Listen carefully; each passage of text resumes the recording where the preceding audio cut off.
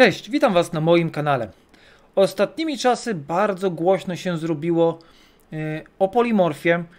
Dużo osób wręcz domagało się, e, głośno domagało się tego, żeby ten, e, żeby ten blessing znerfić, bo jest zbyt mocny, zbyt potężny i tak naprawdę psuje ludziom zabawę z gry na arenie. Kilku twórców na ten temat robiło filmy, nawoływało do tego nerfu. Co ciekawe, społeczność też do takiego pomysłu odnosiła się mocno e, pozytywnie.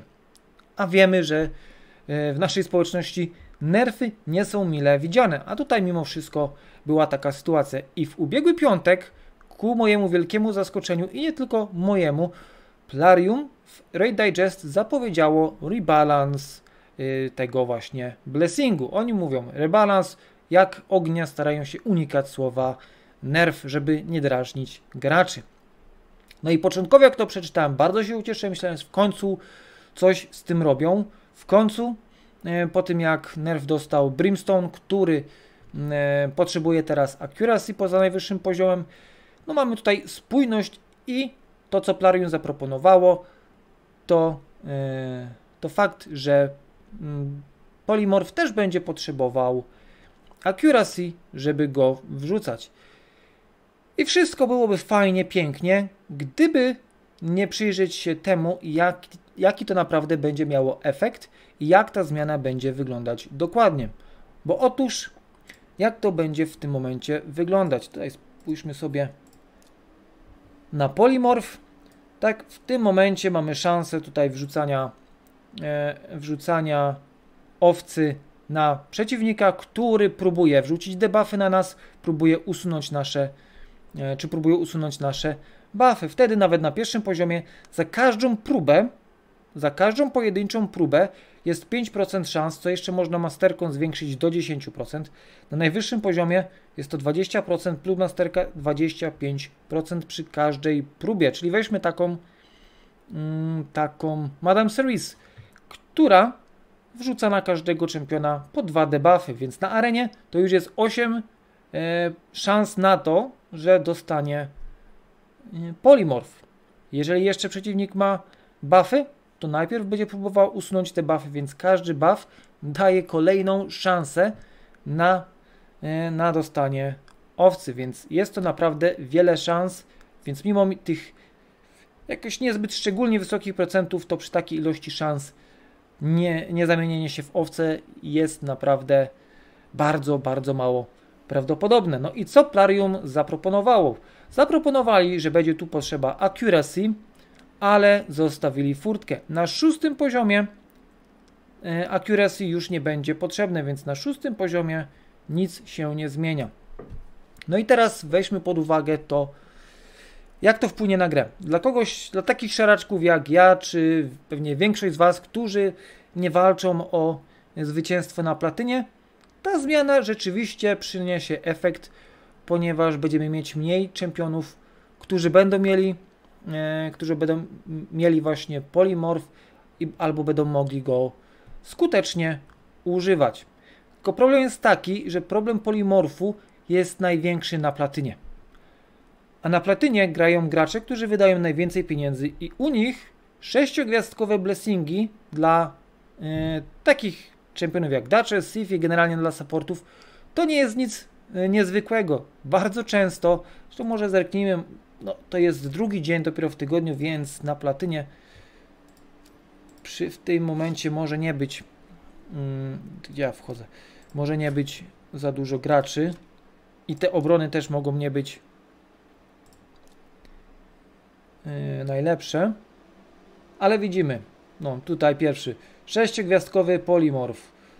I dwóch czempionów z sześciogwiazdkowym polimorfem. Tutaj, ok, tutaj nie ma sześciogwiazdkowego, tutaj też nie, tutaj też nie. Więc o, tutaj mamy, tutaj jest pięciogwiazdkowy, więc widzimy tutaj kolejny, więc no tutaj akurat jest inny y, blessing, ale tutaj też może wejść polimor, więc widać nawet we wtorek już mamy pełno e, graczy, którzy bez problemu obchodzą mm, problem accuracy, więc na tym poziomie dla, dla wielu graczy to nie rozwiązuje żadnego problemu. Dla nich, tak jak polimorf był uciążliwy, tak dalej będzie uciążliwy. Co więcej, będzie uciążliwy jeszcze bardziej. Ponieważ teraz potrzebując accuracy, będą musieli, chcąc rywalizować na najwyższym poziomie, będą musieli wydać jeszcze więcej pieniędzy w pogoni za sześciogwiazdkowymi blessingami dla swoich supportów. No więc Plarium stworzyło tylko tym, zamiast rozwiązać problem tych graczy, ułatwić im życie, dać im więcej przyjemności z grania, tylko bardziej stworzyło większy, yy, większy problem. A nawet już nie patrząc na to, że sześciogwiazdkowy blessing yy, nie potrzebuje już accuracy, to spójrzmy sobie na to, czy nawet czempioni, nie, których nie budujemy z accuracy, będą w stanie w miarę skutecznie jeszcze tego używać. No bo kto, na kogo jest problemem właśnie ten blessing? Dla naszych debufferów, dla czempionów, którzy wrzucają accuracy. A żeby taki czempion robił to skutecznie, to musi być przyzwoicie szybki i musi mieć bardzo wysokie accuracy. Takich czempionów nie budujemy z rezystensem, bo po pierwsze tego do tej pory nie potrzebowali. Po drugie, e, wprowadzenie takiego statu obniża ich wartość w roli, jaką mają pełnić, no bo będą cierpieć na tym inne staty. No teraz sobie spójrzmy na moją Duchess.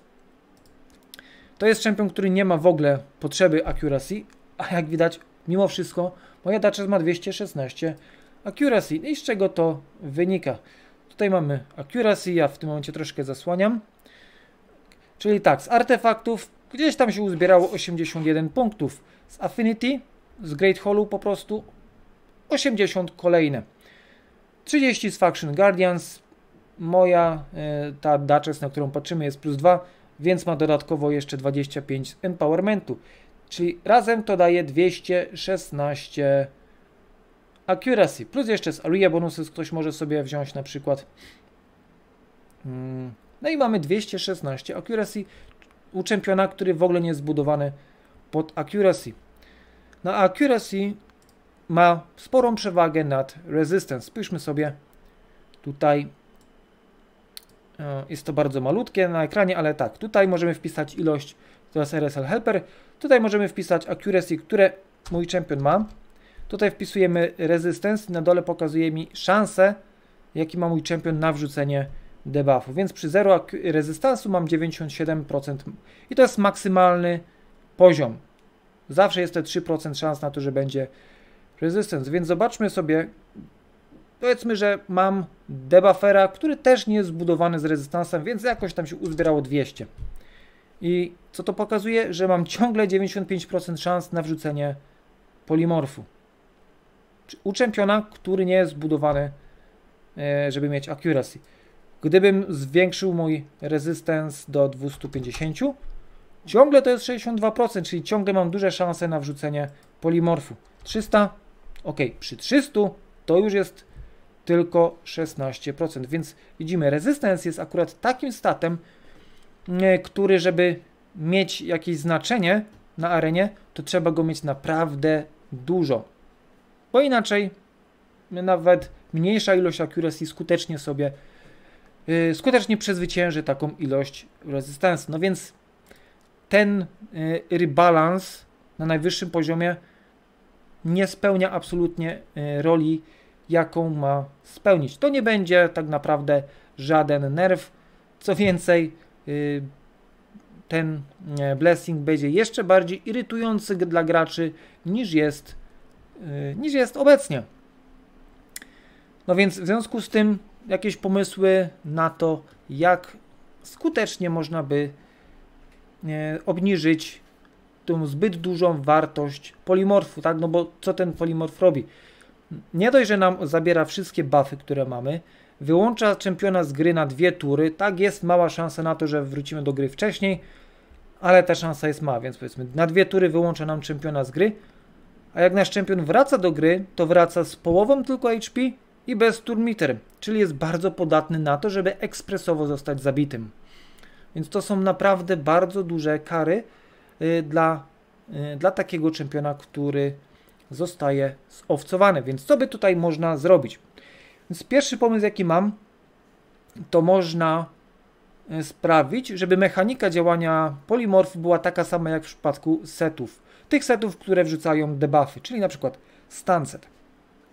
Tam e, nie mamy wielokrotnych szans, przynajmniej tak zgodnie z opisem, nie mamy wielokrotnych szans na wrzucenie e, tego stanu. Więc jeżeli nawet jeżeli mamy kogoś, kto uderza 4 razy, to stan może wejść tylko przy pierwszym uderzeniu. Tak, w tym momencie mamy grupę, pewną grupę czempionów, którzy działają nieco inaczej i którzy mogą tych szans mają więcej, ale już są, e, już trwają prace nad tym, żeby to poprawić, ponieważ nie jest to zamierzone działanie e, takich setów. Więc można by zrobić coś bardzo podobnego z polimorfem. Tak, tak jak już ta przykładowa e, Madame Series próbuje wrzucać swoje debuffy, pomijając już usunięcie tych buffów, próbuje wrzucać swoje debuffy, to przy pierwszej próbie jest check. Ok, zadziała polimorf czy nie zadziała. Jeżeli zadziałał, no to jest owcą, ale jeżeli nie zadziałał, to już jest koniec i przy każdym kolejnym debuffie, który wrzuca, nie ma kolejnych czeków, kolejny raz nie sprawdzamy, czy będzie polimorf, czy nie. Myślę, przy zachowaniu tej funkcjonalności obecnej, e, tego co robi polimorf, to taki czek byłby realnym nerfem, taki, który by sprawił, że ciągle to jest mocny blessing, ale nie byłby przegięty. Ale jeżeli nie to, to coś innego. Mm, obecnie, jeżeli nasz czempion zostanie zowcowany, to jest to debuff chroniony. Nie możemy absolutnie ni z nim nic zrobić. Nie możemy go usunąć, nie możemy się przed nim w tym momencie zabezpieczyć. W tym momencie w jakikolwiek sposób nie możemy się przed polimorfem obronić. Po tej zmianie teoretycznie będzie opcja mm, rezystowania, ale już pokazałem wcześniej, to jest tak naprawdę nierealne, żeby budować naszych debufferów jeszcze z bardzo wysokim e, rezystensem, więc na dobrą sprawę te szanse i tak, e, i tak nie będzie się można przed tym e, skutecznie bronić. Więc można by usunąć tą ochronę dla tego, dla tego debuffu i sprawić, że nasz cleanser naszego teamu mógłby coś takiego usunąć. Albo moglibyśmy się obronić na przykład wrzucając y, blok debuff. Wtedy mielibyśmy przy zachowaniu y, tej y, właściwości tego, y, tego y, blessingu, mielibyśmy możliwość skutecznego przeciwdziałania i to też ograniczyłoby uciążliwość tego, mm, tego blessingu. Jest też trzecia opcja. Można by zmniejszyć y, to, jak ten blessing wpływa na naszych czempionów. I na przykład skrócić go tylko do jednej tury, nie do dwóch tur, tak? No bo na dwie tury w tym momencie on jest rzucany, więc mogła to by być tylko jedna tura. I na przykład nasz czempion wracałby praktycznie w takim samym stanie, jak został zamieniony w owce. Czyli ok, mógłby tracić buffy, one i tak by, nie, by, by, by już wygasały przez ten czas, ale wracałby z pełnym HP, i z takim turmiter, jak miał przed zamianą w...